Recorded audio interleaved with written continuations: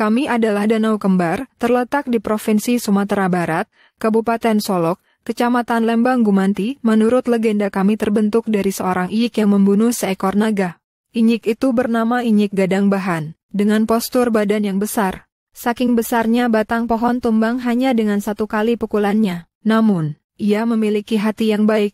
Suatu hari saat Inyik Gadang Bahan akan pulang ke kampungnya. Seperti biasa ia melalui hutan menuju kampungnya. Namun di tengah hutan ia dihadang oleh seekor naga besar yang jahat ia berkata, Siapa pun yang lewat di depanku akan kuhabis, karena aku sangat lapar.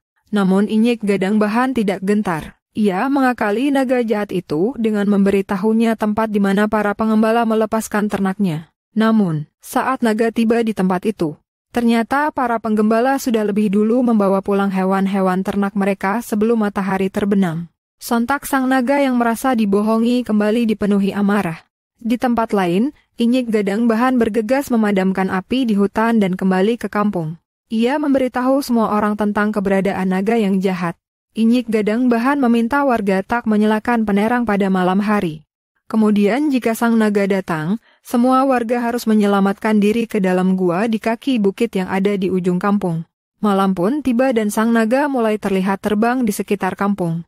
Karena gelap, sang naga tak melihat keberadaan kampung itu. Naga yang marah menyemburkan api ke berbagai arah.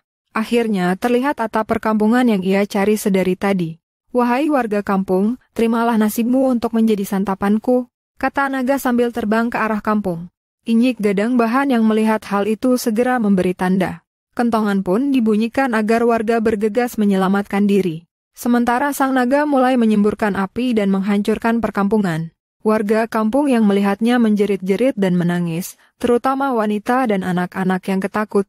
Akhirnya, Inyik Gadang Bahan memutuskan untuk memancing sang naga beranjak dari kampung. Ia menantang sang naga untuk mengejarnya ke lembah tempat padang penggembalaan.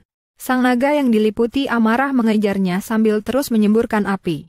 Sampai di lembah, Inyik Gadang Bahan mendapat celah dan berhasil menebaskan kapak ke ekor sang naga. Hal itu membuat Inyik Gadang Bahan makin bersemangat untuk mengalahkan sang naga. Saat sang naga lengah, akhirnya ia bisa menebaskan kapaknya ke bagian tubuhnya. Sang naga pun bisa dikalahkan. Naga besar itu melikuk kesakitan dan banyak mengeluarkan darah. Darah itu menggenangi tanah di bagian kepala dan ekor sang naga. Tempat naga meliukkan tubuhnya berubah menjadi dua buah cerukan yang sangat besar. Sementara bekas genangan darah terisi air dan berubah menjadi dua buah danau. Danau inilah yang kemudian dikenal sebagai Danau Kembar di Sumatera Barat. Danau atas adalah tempat kepala naga, sementara danau bawah adalah tempat ekornya. Di dekat danau, padang penggembalaan tempat pertarungan terjadi dikenal dengan nama Alahan Panjang, sementara lembahnya dikenal dengan nama Lembah Gumanti dari istilah lembah naga yang mati. Dan kami juga menyimpan banyak misteri, nantikan video berikutnya untuk misteri yang kami simpan,